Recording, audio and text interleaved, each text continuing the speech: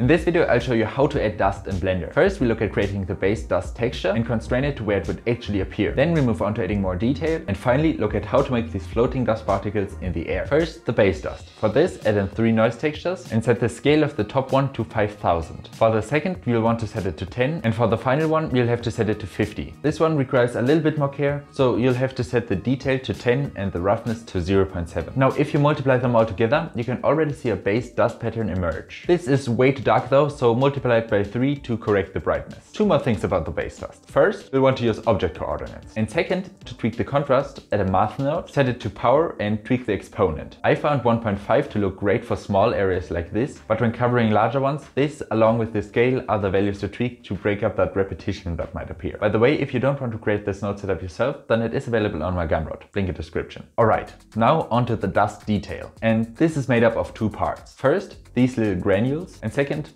these little hair thingies. So for the granules, take this noise texture from the base dust and pass it through a math node set to greater than. Then to stop them from melting together like this, you'll want to set the threshold to 0.6. And that's the granules done. So onto the long and squiggly particles. First, the Musgrave and a wave texture, connect them to the object coordinates and give them these settings here. Now pass the Musgrave through a less than with a threshold of minus 0.29 and multiply that with the wave texture that should be passed through a less than as well, but this time with a threshold of 0.02. Lastly, add the granules onto the squiggly dust and that's the detail done. So now let's incorporate it with the base dust. To do that, multiply the base with 0.8 and add the dust detail on top. Now let's move on to restricting the dust to where it would actually appear and incorporating it into the shader. So dust builds up on top of objects. So to do that, add a geometry node and plug the normal output into a separate XYZ. Now if you view the Z, it basically gives you a top mask. So exactly what we want. Then just multiply the dust texture with it and that makes the dust appear only on top. Now the next thing I'm about to do to this mask won't be beneficial in all situations. So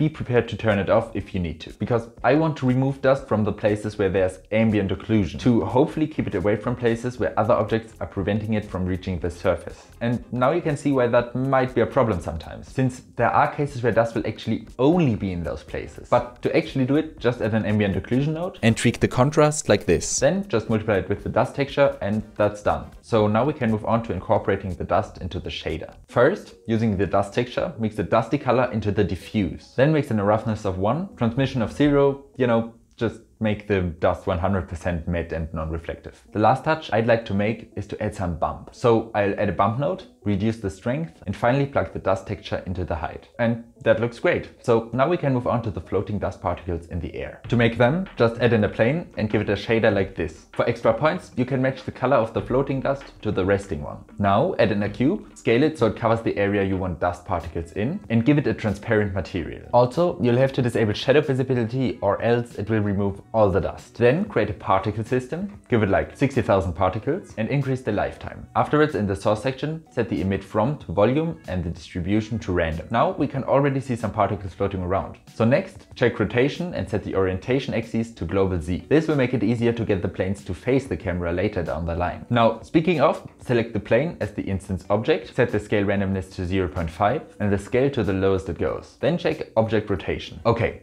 Almost done, just a couple more things. First, rotate the plane so it's standing up like this and to make them face the camera, adjust the phase in the rotation section until they do. Great! Now, I found that they should be about 1.2 centimeters high, so scale the plane until they are that size, which is actually pretty big for dust particles. If you want the dust to kind of float down like this, then just go to the velocity section and turn the normal to zero. Afterwards, you'll also want to reduce the time step in the physics section to something really, really low. Last thing, for the best results, I recommend having depth of field turned on in the camera. But now, that's it. You should now have some good looking dust buildup on your surfaces and some floating dust in the air. So if this video helped you at all, then please consider subscribing or check out this video next.